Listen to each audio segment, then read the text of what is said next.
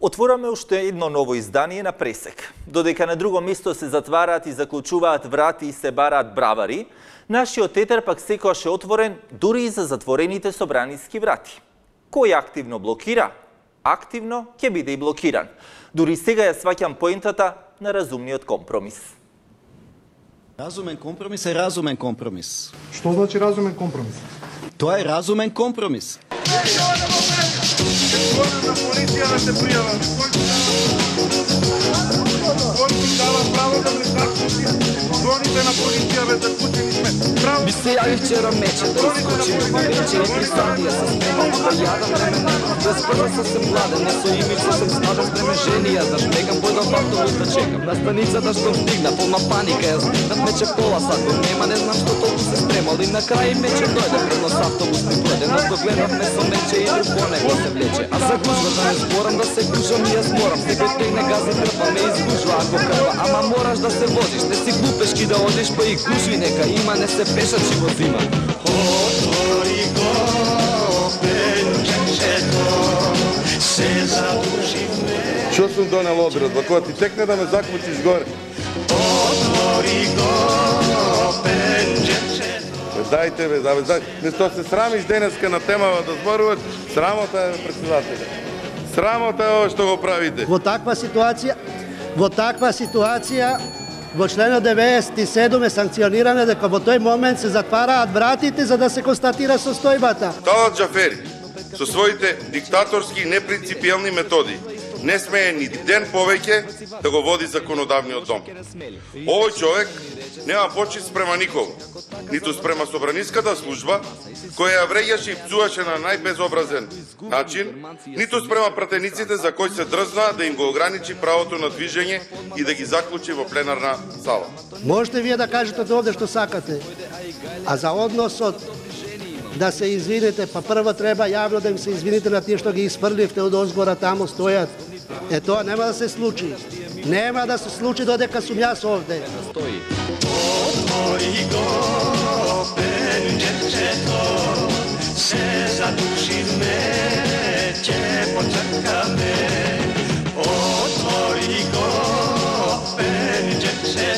аман аман, се задушивме, гушви не трпиме. Вече стапува на сцена шмека една добра жена. И во стилот негов светски кома паѓаат три женски И гужва пак се прави секој од нас ке се дави. Отворете ми и врати, зашто мене ми се мати? А мече гајле нема, жена со себе си зема. И од гужвата тој бега, е што да правам сега? Да ги спасам трите жени, тие мече што ги плени Да се жртвувам, јас морам да ги спасам, се да сторам. Ми со шамари ги малам Што мече, ми Автобусот ќе дома како ќе се стигне Ајде мрти малце сега, автобусот ќе ни бега Да го бркаме ќе мора, да го патиме е фора Се испоти петачаки, измртнавме чекајки Автобусот веќе пројде, ние мислиме ќе дојде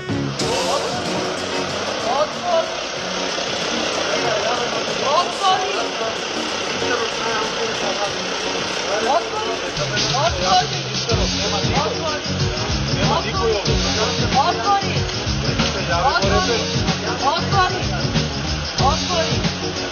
Отвори го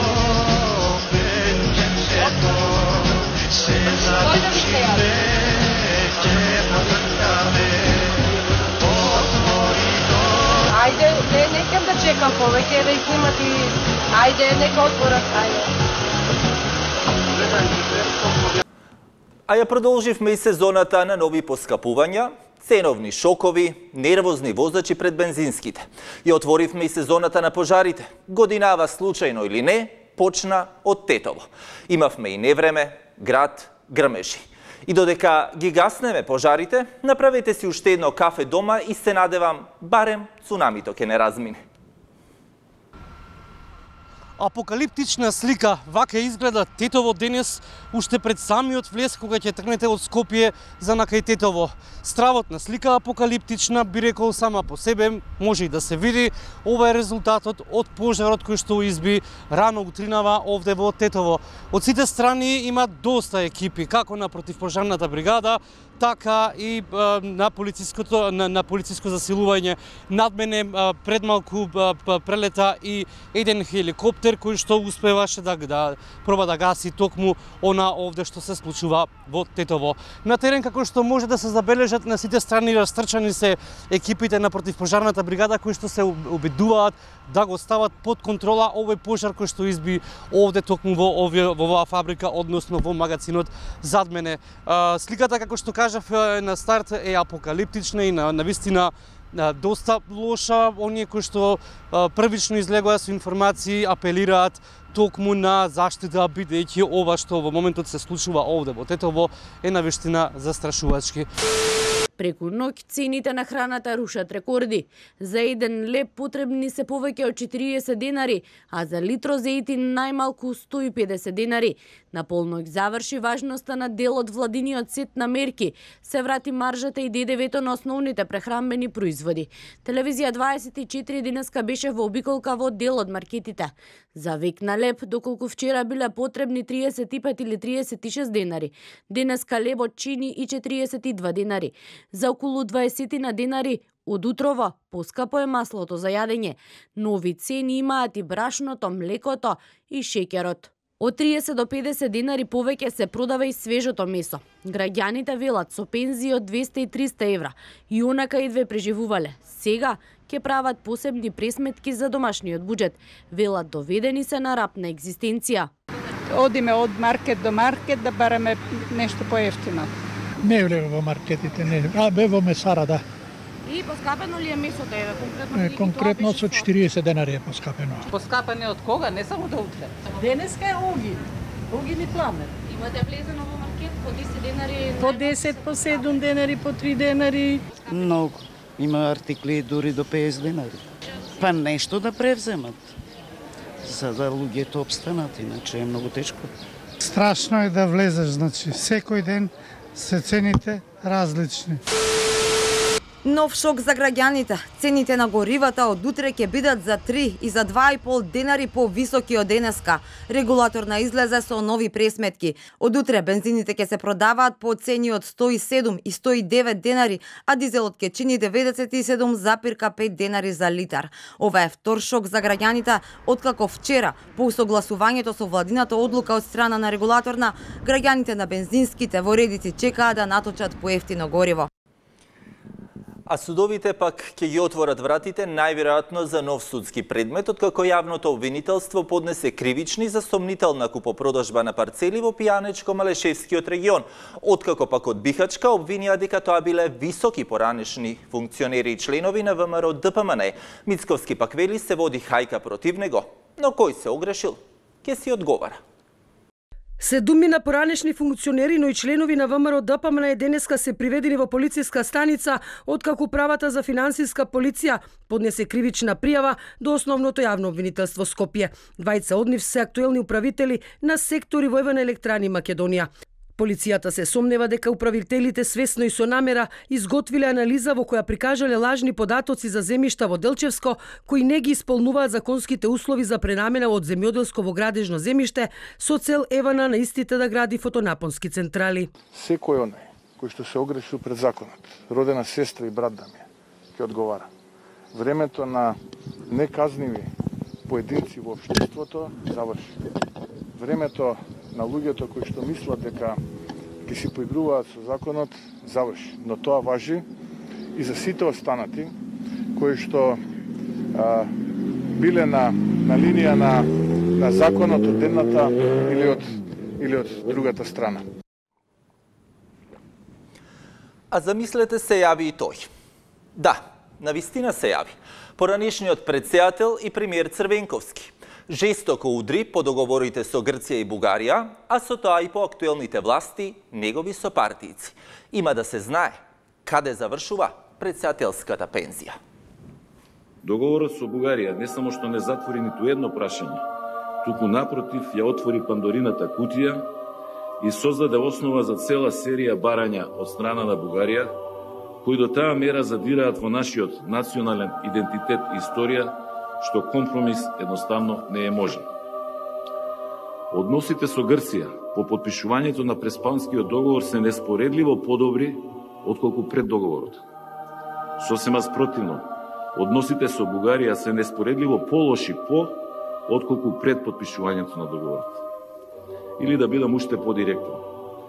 Подпишувањето на договорот за пријателство и соработка со Бугарија со таква содржина, посебно со формулацијата за заедничка историја и формирањето на мешовитата историска комисија со мандат да арбитрира околу историските настани личности беше голема грешка.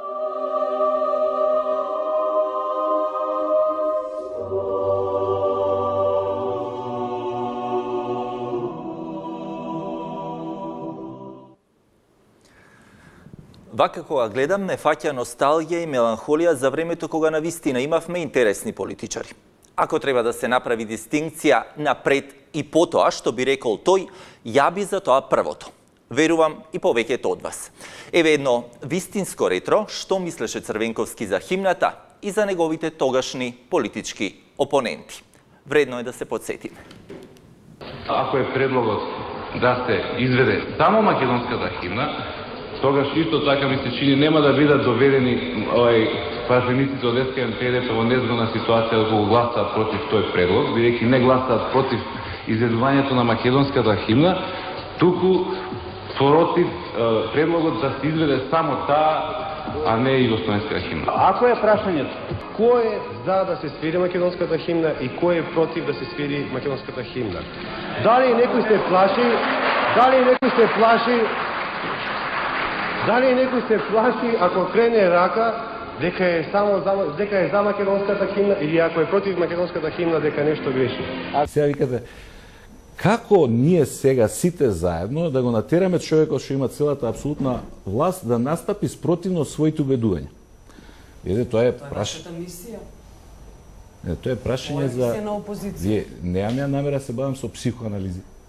Било чии, вклучително и на премиерот. Па се донесат крупни одлуки за единината на државата. Тој што е на власт, ако сака да биде на власт, мора да ги донесе дури и спремен да не добие аплауз. Обратно, да го плюкаат, да го критикуваат, Но, да го негираат. Сакаш да бидеш премиер. Сакаш да носиш е, крупни одлуки. Сакаш да бидеш власт.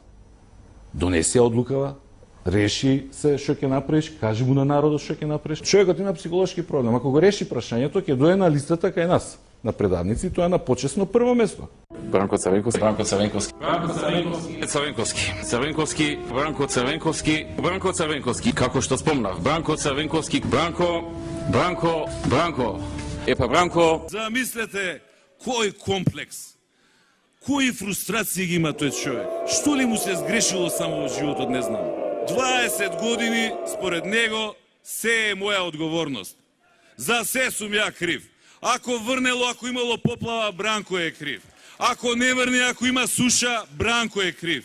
Ако се појави епидемија од заушки, Бранко е крив. Е, Никола, Никола, признај дека сега многу се кажеш. Си вика, што ми требеше таа работа? Зашто не ја следев онаа народната? Седи си мадро да не јадеш модро.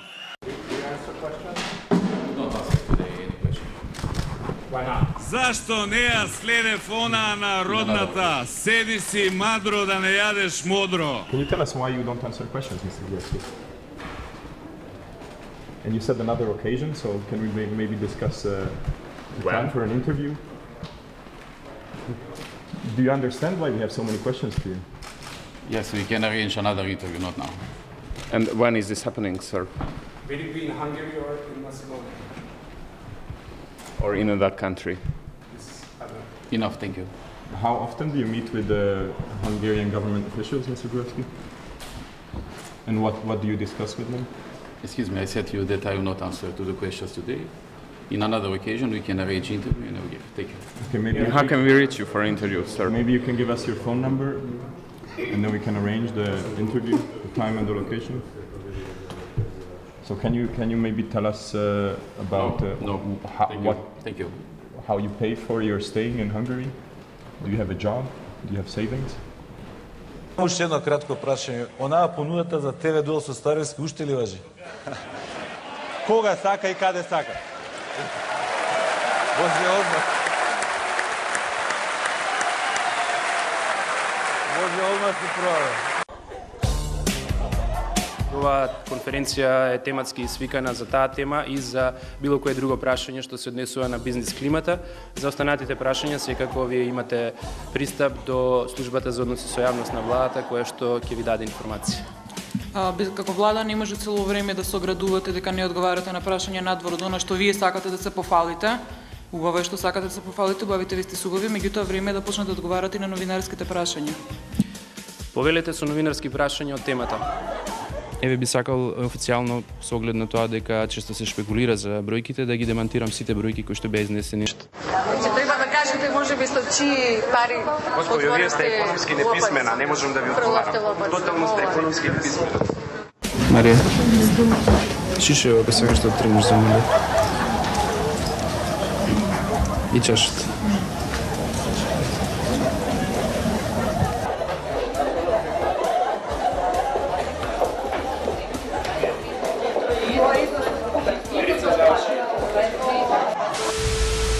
Така јавно изјавувам дека во мојот живот не сум користел услуги на душевни болници, не сум посетувал странски клиники, не сум користел услуги на психијатри и невропсихијатри, на, гајац, на гатачки и бајачки, не сум се заклучувал во мојот кабинет, не сум кршел инвентар во ситуација на напад.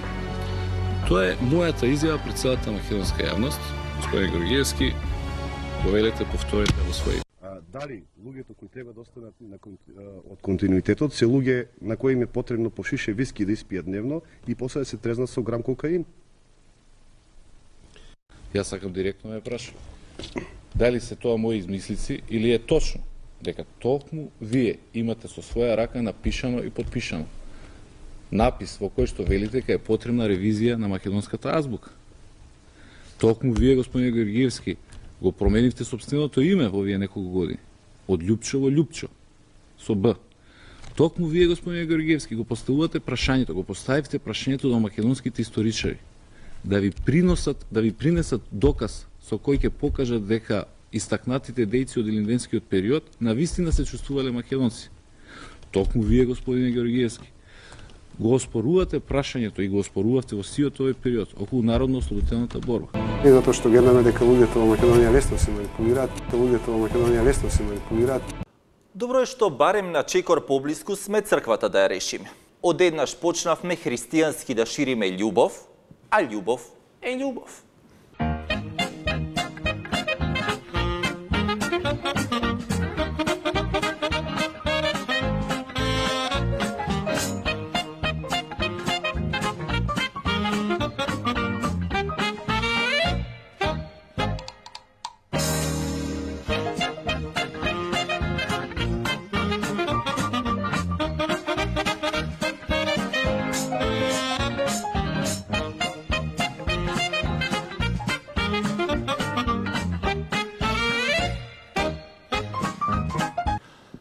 Само што ќе почнеме да шириме љубов, ни се одразува позитивно. Нема жртви која ќе фати невреме, не барем материјални.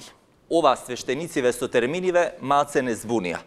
Автокефални, патријахални, па почнавме да имаме и категорија материјални.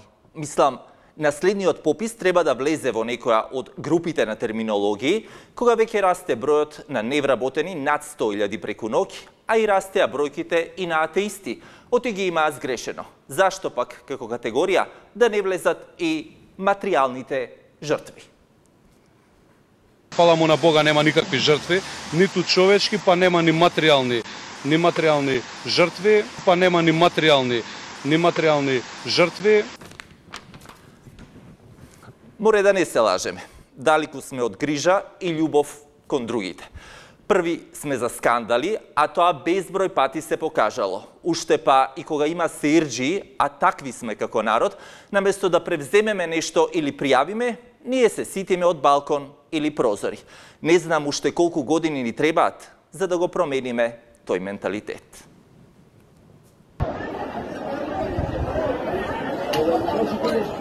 Да селјаците ја видат.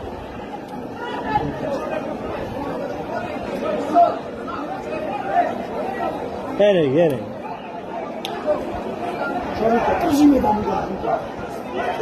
Heyecan abi diyorum ana yeri diyorsun çıp övüyor.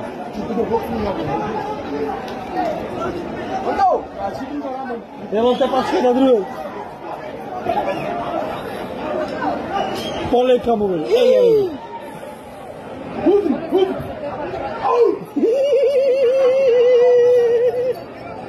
Hudi. Аре, ненормални, леле срцонче. Сестра работа, брат, живи се. Бриле, брат, западно ми се изнамува. Еве ги набива, брат, не ви. И чупи на мала, брат, чишина. Ќе ти Еве, покажам гледай, снимок. гледай, гледай се. Пушта се тепа на Гледай, човек. гледай, гледай. Ај, слечеа? Па што ви е чудно? Такви сме во сите сфери. Сакате на релација власт-опозиција, дипломатија и билатерални спорови кога се решаваат, сакате дома однос на свекрва роднини. Еве ви за крај еден убав музички поздрав токму на оваа тема. Пријатно. Loša mi snaja, ma koji Loša mi snaja, ma koji je Meghan Markle, loša mi snaja. Oduvaj mi ja.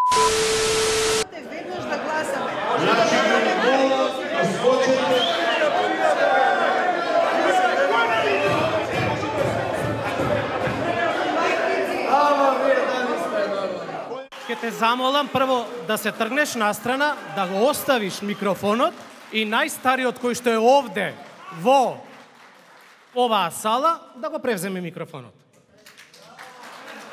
Кога се направи тој упад во извршниот одбор, јас реков очигледно дека времето да си заминам од партијата очукало уште порано.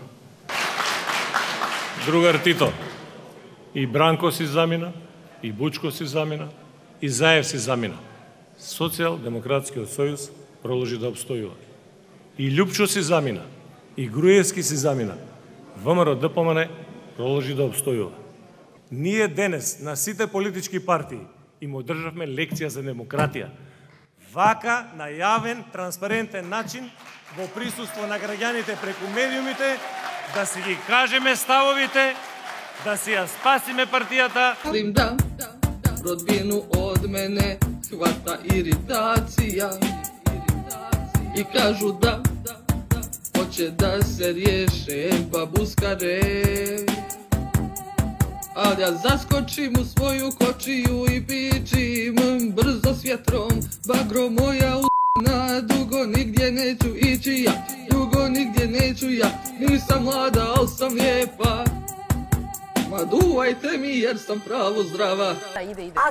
Baza? A gdje je tvoja maca? Ovdje!